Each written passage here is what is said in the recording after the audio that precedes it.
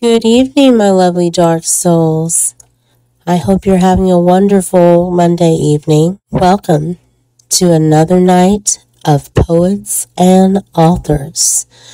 I am your host, Keya, and if you're new here, welcome to my Wicked Majesty channel.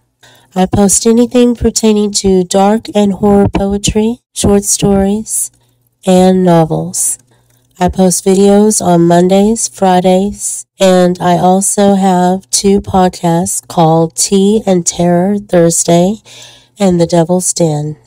If any of this content interests you, then please go ahead and hit the subscribe button. Now, for tonight, I bring you The Last Poem by Robert Desno. I have dreamed so much of you, walked so often talked so often with you, loved your shadow so much. Nothing is left of me, nothing is left me of you.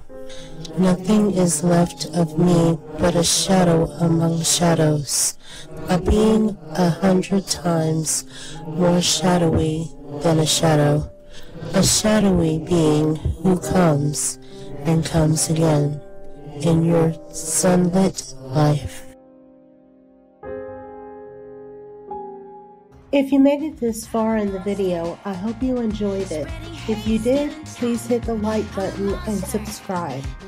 Also, don't forget to hit that bell for notifications. Also, I would like to know what your thoughts are about the video you've just seen. Did you like the content? Comment down below and let me know. Until next time, sleep tight don't let the shadows bite.